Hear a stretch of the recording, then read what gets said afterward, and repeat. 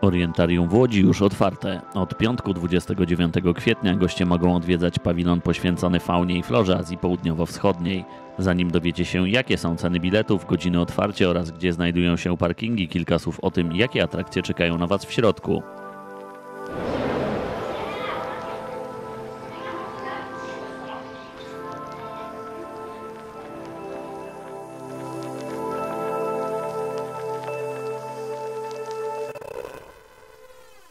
Obiekt podzielony jest na cztery strefy tematyczne: Indie, Wyspy Sundajskie, Celebes oraz strefę wodną. Największą część orientarium w Łodzi zajmuje strefa indyjska, w której mieszkają słoń Aleksander oraz młodszy, dziewięcioletni słoń Taru.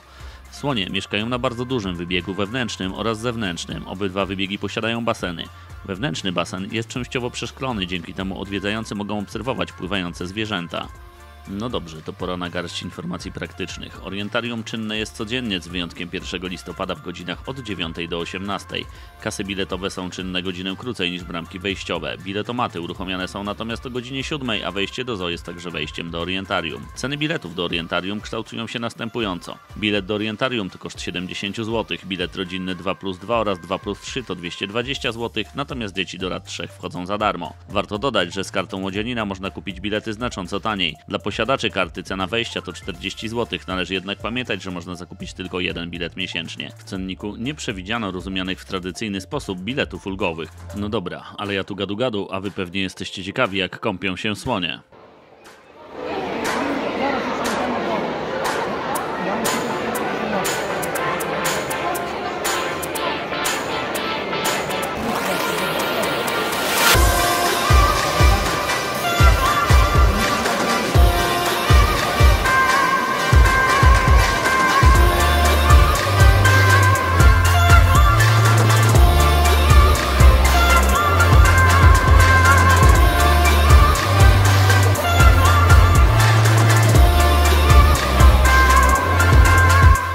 Okej, to wy pooglądajcie sobie jeszcze trochę słoniarnie, a ja opowiem o lokalizacjach parkingów. W okolicy Orientarium znajdują się liczne ogólnodostępne parkingi.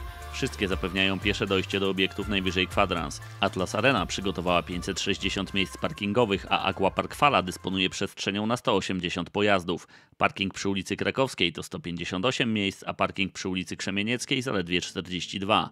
Do waszej dyspozycji jest jeszcze 360 miejsc na parkingach wzdłuż Aleja Unii Lubelskiej.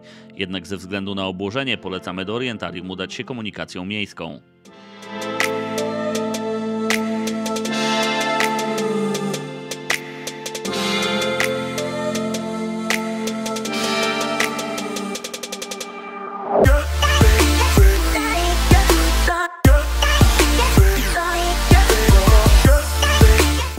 Kolejną strefą jest strefa Wysp Sundyjskich. Mieszkańcami tej części są m.in. dwa krokodyle gewialowe, kraken oraz penelopa.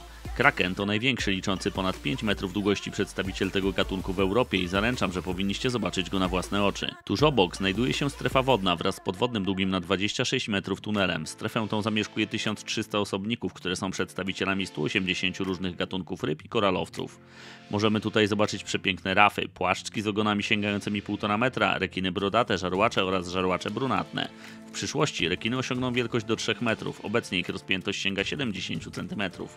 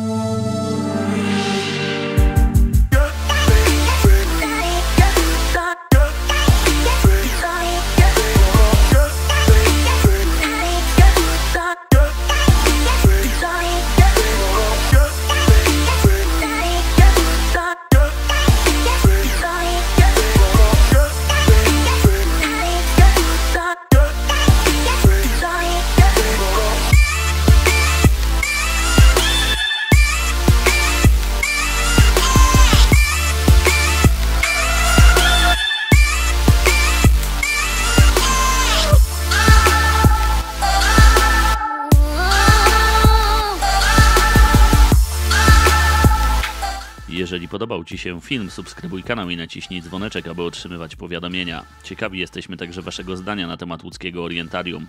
A może podzielicie się nim z nami w komentarzach pod filmem?